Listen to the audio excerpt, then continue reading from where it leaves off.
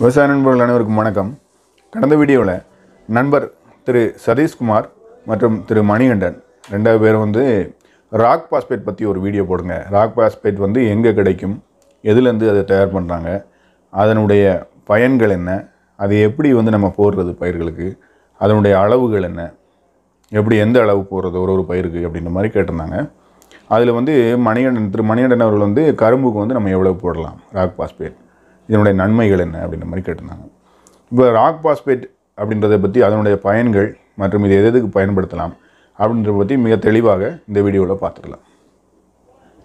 முதலாவது இந்த rock phosphate அப்படின்னு சொல்லக்கூடியது வந்து பார்த்திங்கன்னா ஒரு வகையான பாறையிலேருந்து எடுக்கக்கூடியது. அதாவது பாறையிலேருந்து உடைத்து எடுக்கக்கூடிய ஒரு வகையான மண்ணுன்னு வச்சுக்கோங்களேன். இயற்கையிலே கிடைக்கக்கூடிய பாறைகள்லேருந்து எடுக்கக்கூடிய ஒரு படிமம் அல்லது ஒரு மண். இதுதான் வந்து ராக் பாஸ்பேட் அப்படின்னு சொல்கிறோம் இந்த ராக் அப்படின்னாலே பாறைகள்னு அர்த்தம். இந்த பாறைகளை உடைத்து நம்ம இதிலேருந்து எடுக்கக்கூடியது தான் இந்த ராக் பாஸ்பேட் இப்போ மற்ற சாதாரண டிஏபிக்கும் எஸ்எஸ்பி சிங்கிள் சூப்பர் பாஸ்பேட்டுக்கும் அல்லது காம்ப்ளெக்ஸுக்கும் இந்த ராக் பாஸ்பேட்டுக்கும் என்ன டிஃப்ரென்ஸ் அப்படின்னு பார்த்தீங்கன்னா இது எல்லாமே பெரும்பாலும் கெமிக்கல் மிக்ஸ் ஆகி வரக்கூடியது அல்லது கெமிக்கல் சேர்ந்து தயாரிக்கக்கூடியது. எது? DS DAP single super phosphate அப்புறம் காம்ப்ளெக்ஸ் உரங்கள். இப்போ பொதுவாக வந்து பாஸ்பாட்டிக் ஃபெர்டிலைசர் அப்படின்னு சொல்லும்போது நம்ம கண் வந்து கண்டிப்பாக சிங்கிள் சூப்பர் பாஸ்பேட் அல்லது டிஏபி அல்லது ஏதாவது ஒரு காம்ப்ளெக்ஸ் உதாரணத்துக்கு இருபது இருபது சைவர் பதிமூணு. இந்த மாதிரி ஏதோ ஒன்று கொடுத்தா தான் அந்த பாஸ்பாட்டிக்கு அந்த பாஸ்பேட் தேவைக்கு வந்து நம்ம ஒரு பயிருக்கு வந்து கொடுக்க முடியும். இது இல்லாமல் இதுக்கு மாற்றாக நம்ம இயற்கையாகவே கொடுக்கணும் அப்படின்னு விரும்புகிறவங்க இயற்கை விவசாயத்தை விரும்புகிறவங்க வந்து தாராளமாக ராக் பாஸ்பேட்டை பயன்படுத்தலாம். ஏன்னா இது கொஞ்சம் கூட கெமிக்கல் கலக்கப்படாத இயற்கையிலேயே கிடைக்கக்கூடிய ஒரு வகையான மண். அதாவது பாஸ்பே பாஸ்பேட் அதிகமாக உள்ள ஒரு மண் தான் இது வந்து ராக் பாஸ்பேட்ன்றது பாறைகள்லேருந்து உடைத்து எடுக்கப்படுது ஸோ இதில் வந்து கெமிக்கல் எதுவும் மிக்ஸ் பண்ணாதனால நம்ம இதை வந்து அளவுகள் வந்து கொஞ்சம் கூடுதலாக கொடுத்தா கூட அல்லது பயிருடைய வேரை ஒட்டி கொடுத்தா கூட அது எதுவான பாதிப்பையும் ஏற்படுத்தாது முதலாவது. இப்போ இதே வந்து நம்ம சாதாரணமாக வந்து அதுவும் அளவோடு கொடுத்தா போதும் பொதுவாக இப்போ சாதாரணமாக நம்ம டிஏபியோ இல்லை எஸ்எஸ்பியோ கொடுக்கும்போது நம்ம லிமிட் பார்த்து தான் கொடுக்கணும். டயமோனியம் பாஸ்பேட் அல்லது சிங்கிள் சூப்பர் பாஸ்பேட் கொடுக்கும்போது அளவுகள் வந்து கரெக்டாக கொடுக்கணும். போட்ட உடனே தண்ணி கட்டணும். வெயில் காலத்தில் அதிகம் போடக்கூடாது. ஏன்னா அது பயிருடைய வேரை வந்து சுற்றும். காரணம் அதில் வந்து கெமிக்கல்கள் இருக்கிறது தான் காரணம். ஆனால் இந்த ராக் பாஸ்பேட் அப்படின்றது இயற்கையிலே கிடைக்கக்கூடிய ஒரு வகையான மண். ஸோ இதில் வந்து கெமிக்கல்ன்றதுக்கு வாய்ப்பு இல்லை. அதனால் இதை வந்து நம்ம தாராளமாக கொடுக்கலாம். இன்னொரு விஷயம் வந்து மற்ற உரங்களாகட்டும் தொழு உரமாக இருக்கட்டும் தொழு உரம் கூட நன்றாக மக்கி நுண்ணூட்ட நுண்ணுயிரிகளால் அது கீழேட்டட் ஃபார்முக்கு மாற்றப்பட்டு அதன் பிறகே பயிர்களால் எடுத்துக்கொள்ளப்படும். தொழு உரம் கூட நல்லா மக்கிற மக்கி அது நன்றாக மக்கிய பிறகுதான் பயிர்களால் எடுத்துக்கொள்ளப்படும் அது மாதிரி நம்ம கொடுக்கக்கூடிய யூரியா டிஏபி பொட்டாஷ் மற்றும் காம்ப்ளெக்ஸ் ஃபெர்டிலைசர்ஸ் டிஏபி எஸ்எஸ்பி எல்லாமே வந்து பார்த்திங்கன்னா பயிருக்கு கிடைக்கக்கூடிய நிலையில் அது நம்ம போடுறதில்ல. நம்ம போடும்போது அது வந்து ஒரு ஃபார்மில் இருக்கும். அப்போ அதுக்கப்புறம் வந்து மண்ணில் உள்ள நுண்ணுயிர்கள் வந்து அது கீழேட்டட் ஃபார்முக்கு மாற்றி அதுக்கப்புறம் தான் பயிர்களால் இதை எடுத்துக்க முடியும். இந்த ப்ராசஸ் ஒன்று நடைபெறும் நடைபெறும். அப்போ ஆனால் வந்து இந்த ராக் பாஸ்பேட்ன்றது அப்படி கிடையாது. இது நார்மலாக வந்து பார்த்தீங்கன்னா எப்போவுமே இது வந்து ஒரு இயற்கையான தன்மையில் இருக்கிறதுனால இது உடனடியாக பயிருக்கு கிடைக்கக்கூடிய தன்மையிலேயே இருக்குது நேரடியாக. இது வந்து கீழேட்டட் ஃபார்முக்கு மாற்ற வேண்டிய அவசியம்லாம் இல்லாமல் நேரடியாக பயிர்களால் எடுத்துக்கொள்ள முடியுது. இன்னொன்று சைடு எஃபெக்ட் கிடையாது.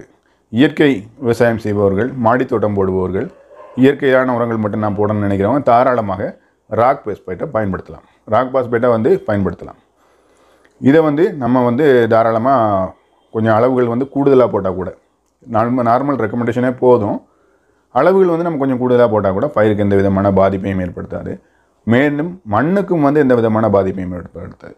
முக்கியமாக கவனிக்க வேண்டியது பயிருக்கும் பாதிப்பு ஏற்படுத்தாது. அது மாதிரி மண் வந்து இப்போ வந்து கெமிக்கல் ஃபெர்டிலைசர்லாம் அப்ளை பண்ணும்போது நாளடைவில் யூரியா பொட்டாஸ் போன்ற உரங்கள் வந்து அதிக அளவில் போடும்போது நாளடைவில் வந்து சாயில் கிரஸ்டிங்னு சொல்லுவோம். அதாவது வந்து சாயில் வந்து அப்படியே காம்பேக்டாக இறுகி போட மாதிரி ஒரு சூழ்நிலை வரும். அதுக்கு வந்து இந்த ஆழ உழவு பண்ணக்கூடிய சிசல் ஃப்ளோன்னு சொல்லுவோம். உளிக்கலப்பை அப்படின்னு சொல்லுவாங்க தமிழில் வந்து. சிசல் ஃப்ளோனா ரொம்ப ஆழமாக ஒரு மூணு அடி நாலு அடிக்கு போகும். மூணு ஒன்றரை ரெண்டு ரெண்டு அடிலேருந்து மூணு அடி ஆழம் வரைக்கும் அந்த ப- அந்த சாயில் கிரஸ்டான ஃபார்ம் ஆனதை வந்து உடைத்து விட்டால் தான் வந்து ப- மண் பழையபடி புல ஏன்னா கெமிக்கல் ஃபெர்டிலைசர் அதிகமாக யூஸ் பண்ணதுனால அந்த மாதிரி ஆகுது. ஸோ இதை வந்து காற்றோட்டமும் நல்ல நீர்பிடிப்பு தன்மை உருவாகிறதுக்கு வந்து சிசல் ப்ளோ வந்து ஒரு வருஷத்துக்கு ரெண்டு வருஷத்துக்கு ஒருக்கா அப்படி வந்து ஓட்டணும் அப்படின்னு சொல்லுவாங்க பொதுவாக ஆனால் இந்த மாதிரியான இயற்கை உரங்களை வந்து நம்ம போடும்போது மண்ணுக்கு எந்த விதமான பாதிப்பு ஏற்படுறதில்ல.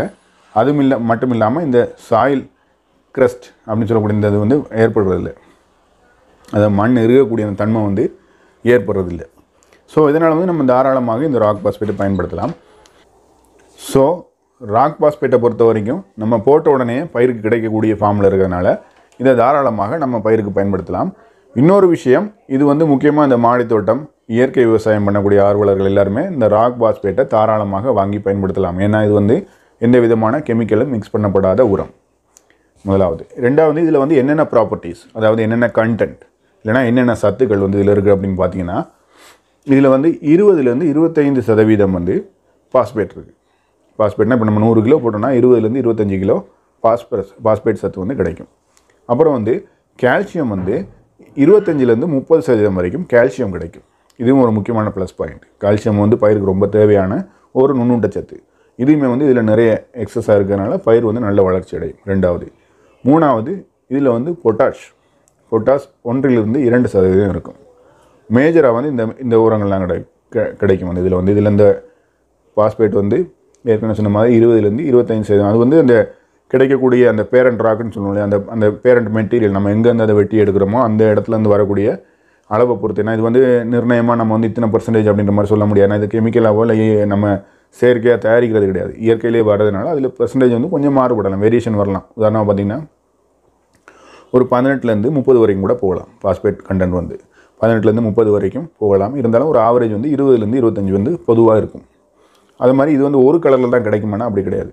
இது வந்து அந்த பேரண்ட் ராக் மெட்டீரியல் அந்த நம்ம வெட்டிடக்கூடிய பாறை என்ன கண்டிஷனில் இருக்கும் அந்த மண் வந்து என்ன கலரில் இருக்கோ அது மாதிரி டார்க் பிளாக்காக இருக்கலாம் கரும் என்ன சொல்கிறது கரும் கருப்பாக இருக்கலாம் அல்லது பழுப்பு நிற கலரில் இருக்கலாம் கொஞ்சம் கலர் வந்து கம்மியான கருப்பாக இருக்கலாம் இந்த மாதிரி வேறு வேறு கலரில் இருக்கும் எல்லாமே நல்லது தான் ஆனால் அதில் பர்சன்டேஜ் என்னன்றது இப்போ சுதாரணமாக நம்ம வாங்கக்கூடிய கம்பெனிகளில் வந்து அதனுடைய என்ன பர்சன்டேஜ் இருக்குன்றதை வந்து அதில் போட்டிருப்பாங்க.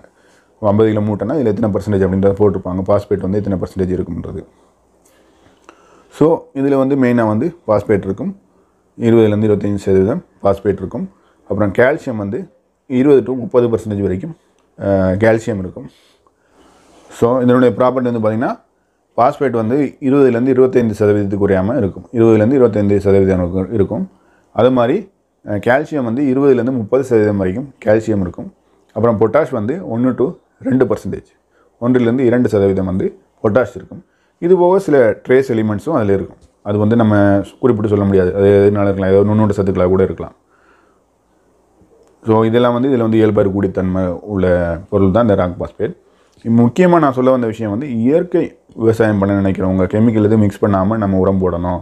மாடி தோட்டத்தில் எங்கள் வீட்டுக்கு சாப்பாட்டுக்காக நான் காய்கறி வந்து பயிரிட விரும்புகிறேன் ஆனால் பாஸ்பேட் சத்தை நான் எப்படி கொடுக்குறது அப்படின்ற பட்சத்தில் வந்து நீங்கள் ராக் பாஸ்பேட்டை தாராளமாக பயன்படுத்தலாம். சரி இதை எப்படி அப்ளை பண்ணுறது இதை வந்து பார்த்திங்கன்னா நிறைய வந்து பெரும்பாலானது வந்து பவுடர் ஃபார்மில் இருக்கும். ரொம்ப பவுடராக நம்ம எஸ்எஸ்பி பார்த்துப்போம் இல்லையா? Single super phosphate super phosphate மாதிரி ரொம்ப பவுடர் ஃபார்மில் இருக்கும். அதை காட்டிலும் இன்னும் மைன மைன்யூட்டாக இருக்கும். ஸோ இதை வந்து நம்ம நேரடியாக அப்ளை பண்ணுறதை காட்டிலும் நீங்கள் வந்து ஏதோ ஒரு பொருள் கூட மிக்ஸ் பண்ணி உதாரணமாக வந்து நன்றாக மக்கிய தொழு உரம். நன்றாக மக்கிய தொழு உரத்தில் கலந்து வச்சு ஒரு நாள் முதல் நாளே கலந்து வச்சு நம்ம இரண்டாவது நாள் வந்து இதை வந்து நல்லா அது கூட வந்து சேர்ந்துடும் ராக் பாஸ்பேட் வந்து தொழு உரம் கூட சேர்ந்ததுக்கப்புறம் ஊட்டமேற்றிய தொழு உரமாக அந்த உரம் மாறிடும். இப்படி அப்ளை பண்ணோம்னா இன்னும் நல்ல எஃபெக்டாக இருக்கும். ரிசல்ட் வந்து நம்ம எதிர்பார்த்த மாதிரி பார்க்கலாம். இரண்டாவது வந்து அப்படி இல்லை எனக்கு தொழு உரம் கிடைக்கல அப்படின்னா நீங்கள் சாதாரணமாக யூஸ் பண்ணக்கூடிய யூரியா பொட்டாஷ் வேறு என்னென்ன காம்ப்ளெக்ஸ் எது கூடனாலும் மிக்ஸ் பண்ணி போடலாம். ஆனால் இந்த நீங்கள் போடக்கூடிய கெமிக்கலும் இது இந்த ராக் பாஸ்பேட்டும் ரியாக்ட் பண்ணி ஏதாவது நம்ம கொல கொலன்னு ஆச்சுன்னா நமக்கு போகிறது சிரமமாயிடும் அதனால் இந்த மாதிரி கெமிக்கல் ஃபெர்டிலைசர் கூட நீங்கள் மிக்ஸ் பண்ணும்போது மிக்ஸ் பண்ண உடனே வந்து அதை அப்ளை பண்ணுறது மிகவும் நன்றாக இருக்கும். இல்லை நான் பெஸ்ட்டான ரிசல்ட் எனக்கு வேணும் அப்படின்ற பட்சத்தில் வந்து நீங்கள் தொழு உரத்தை கூட கலந்து ஒரு வாரம் பத்து நாள் வந்து அதை நல்லா மிக்ஸ் பண்ணி அப்படியே ஒரு மூடாக்கு மாதிரி அதாவது போர்வை மாதிரி ஏதாவது மூடாக்கு மாதிரி அல்லது தார்பாய் மாதிரி போட்டு மூடி வச்சுட்டு அதுக்கப்புறம் எடுத்து அப்ளை பண்ணுங்கள் ஏன்னா அப்போ வந்து அந்த ராக் பாஸ்பேட் நன்றாக அந்த தொழு உரத்து கூட மிக்ஸ் மிக்ஸ் ஆகி கிட்டத்தட்ட தண்ணீர் விடக்கூடிய கண்டிஷனில் இருக்கும். அதில் இந்த ஒரு கசிவு மாதிரி வரக்கூடிய கண்டிஷனில் இருக்கும். இது வந்து முழுமையாக அந்த ராக் பாஸ்பேட் வந்து அந்த தொழுவரத்தில் ஏறி இருக்கும். ஸோ பயிர்களுக்கு கொஞ்சம் கொஞ்சமாக ஸ்லோ ரிலீஸாக கிடச்சிட்டே இருக்கும். நீங்கள் போட்ட உடனே அந்த நல்ல ரிசல்ட்டை வந்து நீங்கள் எதிர்பார்க்கலாம். ஸோ இந்த மாதிரி அப்ளை பண்ணலாம். சரி இது எவ்வளவு அப்ளை பண்ணலாம்? அப்படின்னு பார்த்தீங்கன்னா ஒரு சில பயிர்கள் வந்து நம்ம பார்க்கலாம். உதாரணமாக கரும்புக்கு நான் அப்ளை பண்ண போகிறேன் அப்படின்னு பார்த்தீங்கன்னா குறைந்தது ஐநூறு கிலோவிலேருந்து ஒரு எழுநூற்றம்பது கிலோ. அதாவது பத்து மூட்டையிலேருந்து பதினைந்து மூட்டை நீங்கள் தாராளமாக போடலாம். கூடுதலாக போட்டாலும் தவறில்லை. ஏன்னா உங்களுக்கு பட்ஜெட் இருக்குது கிடைக்குது அப்படின்ற பட்சத்தில் நீங்கள் பாஸ்பாட்டிக்கு இதுக்கு வந்து எவ்வளோ நாளும் போட்டுக்கலாம். ஏன்னா இதனால் எந்த விதமான சைடு எஃபெக்ட்டும் கிடையாது முதலாவது. ரெண்டாவது வந்து பார்த்திங்கன்னா இது வந்து இயற்கையாக மண் போன்ற தன்மை உள்ளது இயற்கையாக உள்ளதுனால எந்த விதமான பாதிப்பை பயிர்களுக்கும் ஏற்படுத்தாது அதே நிலையில் மண்ணுக்கும் ஏற்படுத்தாது. ஸோ இது தாராளமாக நீங்கள் அப்ளை பண்ணலாம். குறைந்தது கரும்பு போன்ற நீண்டகால பயிர்களுக்கு வந்து ஒரு ஏக்கருக்கு பத்திலிருந்து பதினைந்து மூட்டைகள் அதாவது ஐநூறு கிலோவிலேருந்து எழுநூற்றம்பது கிலோ வரைக்கும் போடலாம். அதே வேறு நெல் பயிர் இந்த மாதிரி ஒரு மூன்று மாதத்துலேருந்து ஆறு மாத வயதுடைய பயிர்களாக இருந்தால் வந்து நீங்கள் குறைந்தது ஒரு ஆறு மூட்டை இதுலேருந்து எட்டு மூட்டை கூட போடலாம் ஒன்றும் தப்பு இல்லை. கூடுதலாக போட்டால் கூட தப்பு கிடையாது. ஒரு ஆறு எட்டு மூட்டை பத்து அதிகபட்சம் பத்து மூட்டை வரைக்கும் நீங்கள் இதை வச்சுக்கலாம். இது காய்கறி பயிர்களுக்கு நீங்கள் அதுக்கேற்ற மாதிரி உங்களுக்கு எவ்வளோ தேவையோ அதுக்கேற்ற மாதிரி போட்டுக்கலாம். ஸோ நல்ல பலனளிக்கக்கூடிய ஒரு பொருள் இயற்கையாக கிடைக்கக்கூடிய உரம். அதுதான் முக்கியமான விஷயம். அப்போ ராக் இது பாரு பாஸ்பேட்டு கண்டென்ட் வந்து எனக்கு பயிருக்கு கிடைக்கணும். மணிச்சத்து கிடைக்கணும். அது வந்து ஆனால் கெமிக்கலாக இருக்கக்கூடாது. இயற்கையில் கிடைக்கணும் அப்படின்னா நீங்கள் தாராளமாக ராக் பாஸ்பேட் பயன்படுத்தலாம். ஸோ ராக் பாஸ்பேட்டை எப்படி பயன்படுத்துறது? கரும்புக்கு என்ன அளவு போடுறது? மற்ற நெல் பயிர்களுக்கு என்ன அளவு போடுறதுன்றலாம் இதில் வந்து தெளிவாக பார்த்தோம். ராக் பாஸ்பேட் எதிலிருந்து கிடைக்குது? இதை எப்படி அப்ளை பண்ணுறதுன்ற வரைக்கும் பார்த்தோம். நம்ம உரத்து கூட அப்ளை பண்ணலாம். உரம்னா யூரியா டிஏபி பொட்டாஸ் இது கூட மிக்ஸ் பண்ணி அப்ளை பண்ணலாம். அல்லது பெஸ்ட்டானது தொழு உரத்து கூட கலந்து வந்து மிக்ஸ் பண்ணுற தொழு உரம். நன்றாக மக்கிய தொழு உரத்தோட மிக்ஸ் பண்ணி போடுறது வந்து அதுவும் குறிப்பாக ஒரு வாரம் வச்சிருந்து போகிறது மிக நல்ல பலன் அளிக்கும். ராக் பாஸ்பேட் பற்றி முழுமையான தெளிவான ஒரு வீடியோ இதில் வந்து தகவல்கள் கொடுத்துருக்கேன். முடிஞ்ச அளவுக்கு உங்களுக்கு என்னென்ன தகவல் தேவைப்படுமோ எல்லாமே கொடுத்துருக்கேன். இதையும் தாண்டி உங்களுக்கு ஏதாவது சந்தேகங்கள் இருந்தால் கண்டிப்பாக கமெண்ட் செக்ஷனில் பதிவு செய்யுங்க. மேலும் விவசாயம் சார்ந்த வேறு ஏதேனும் சந்தேகங்கள் இருந்தால் கூட கமெண்ட் செக்ஷனில் பதிவு செய்யுங்க. அடுத்து வரக்கூடிய வீடியோக்குள்ள அதை பற்றி மிகவும் தெளிவாகவும் விரிவாகவும் பார்த்துடலாம். மீண்டும் ஒரு புதிய வீடியோவுடன் உங்களை சந்திக்கும் வரை உங்களிடம் வந்து விடைபெறுவது உங்கள் நண்பன் ஷியாம். நன்றி. வணக்கம்.